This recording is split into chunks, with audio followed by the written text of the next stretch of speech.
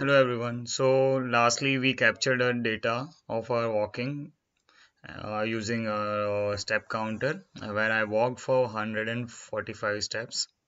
So now I am going to post process the data which we have captured using our device uh, in Python.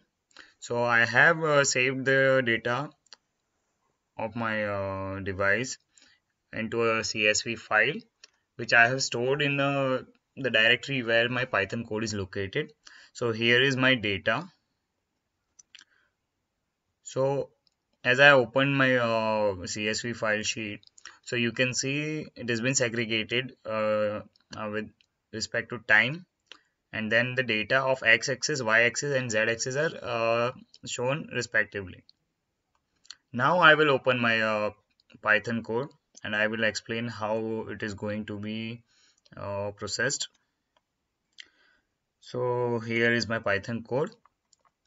So I have imported a numpy and a pandas uh, directory. I, I mean a library. And then I have imported my uh, CSV file using a CSV uh, read data which is uh, one of the function from pandas. Then I have defined the array x, y and z where the respective data of uh, x, y and z from our CSV file will be loaded.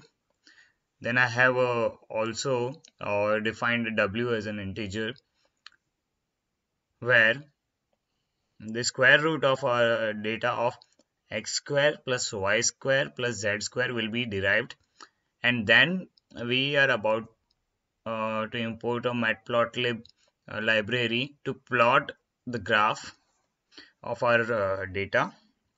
Then we will plot data of x-axis data of y-axis data of z-axis and the data of w which we have uh, recently stored.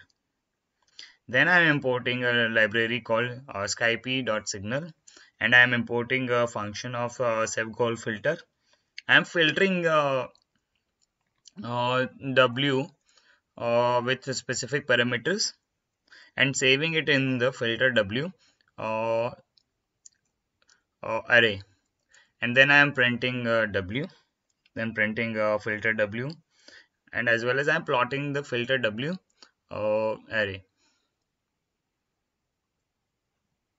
Then I am importing a matplotlib library once again and a spiky scipy signal and importing a find peak function where I'm going to find the peaks which have been generated in our uh, filter W plots.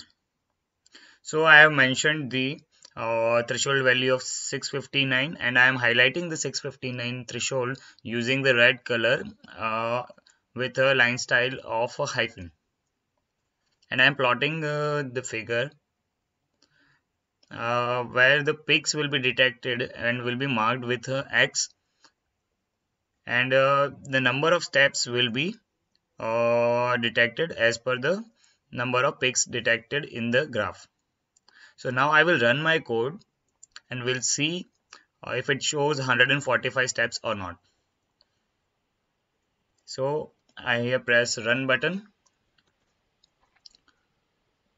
so you can see the multiple graphs have been plotted. So we'll go first on uh, first graph. This is a graph for uh, x-axis.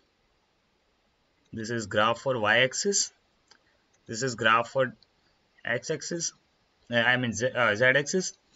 And this is graph for w-axis. I mean not w-axis uh, for the uh, w uh, integer.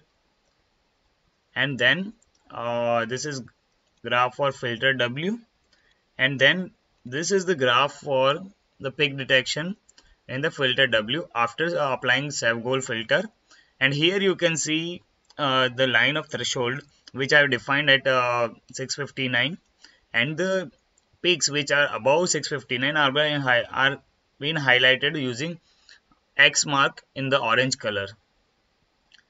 Now you can see after the finishing of uh, the process here we can see the total number of steps are 145 so hence uh, uh, as you can see that uh, in the video previous to this I have walked 145 steps.